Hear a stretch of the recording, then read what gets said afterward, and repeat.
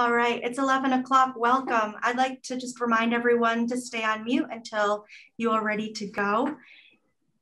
My name is Kirby Roberts, and I welcome everyone to the New England Virtual Sea Summit. I'm the Marketing and Catering Director at UMass Dartmouth for Chartwells Higher Education, and today I'll be monitoring today's event. Please take a moment to familiar yourself with the features of the summit. So you'll see down below, you have the chat box, the question box, and you can see the participants or the number of participants. I'd like to thank and welcome Tania Taranovski, today's facilitator from Farm to Institution New England, also known as FINE. Thank you for your support today. None of this would be possible without you. Tanya is the Director of Programs at FINE, and she leads FINE's Farm and Seed Campus Network and Food Service programs. She will be your co-host today. Our goal for today's event is to focus on leveraging institutions to support local seafood producers, kelp, and underutilized species. So again, the Q&A is there. Please use the Q&A to ask questions throughout. We'll be checking them. Introduce yourself in the attendee box, um, the chat box. You can just put your name and where you're from and what you're interested today. We'll be checking the chat throughout the entire Sea Summit today. You can share your role, your organization. Just take a moment to say hi.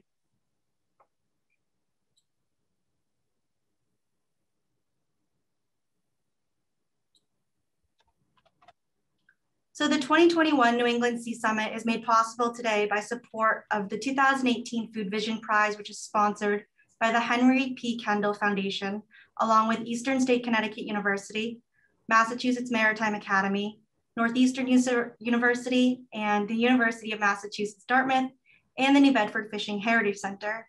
And together we were awarded two Food Vision prizes, which we are expanding on today, kelp farming and underutilized fish.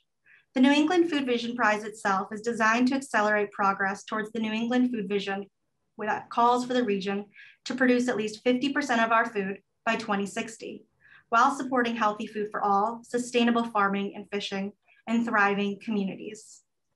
So thank you for joining us today. We're excited to present regional seafood experts, an engaging panel, and stakeholder dialogue later on. Our speakers will share how a team of colleges and supply chain partners tackled procurement issues through the 2018 Food Vision Prize. We'll also touch upon challenges and opportunities of producing and sourcing farmed kelp and underutilized fish species in New England. So our presentations today will share how the organizations worked to bring underutilized species into community and university dining programs, even with the added challenges presented by a global pandemic. Our speaker lineup is fantastic, and I'm really excited to share with all of you our program schedule for today. So just a really quick run through at a glance.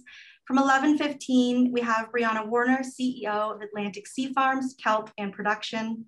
At 11.45, we have Barton Seaver, chef and author of The Joy of Seafood and Seafood Sea Greens.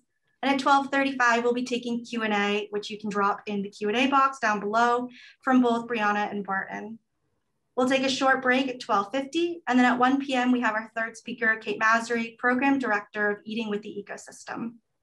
So then we'll move on at 1.30 to our Sea, from Sea to institution, panel discussion about procurement and production.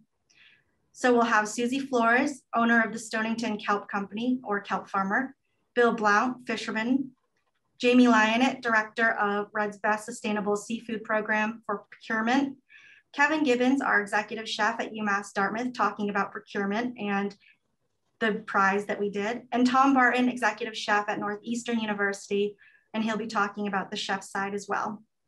At 2.30, we'll close with Q&A, and then at 3 p.m., that'll be it. This whole thing will be recorded, so please at any time, if you have to step away, please know that you will be sent this to your emails, the same registration emails that you signed up with. We'll have designated times after speakers for questions and answers. So please type your questions in the Q&A found at the bottom of your screen. We know many of you already submitted questions and we've pulled those for today. So we'll try to answer those throughout the program.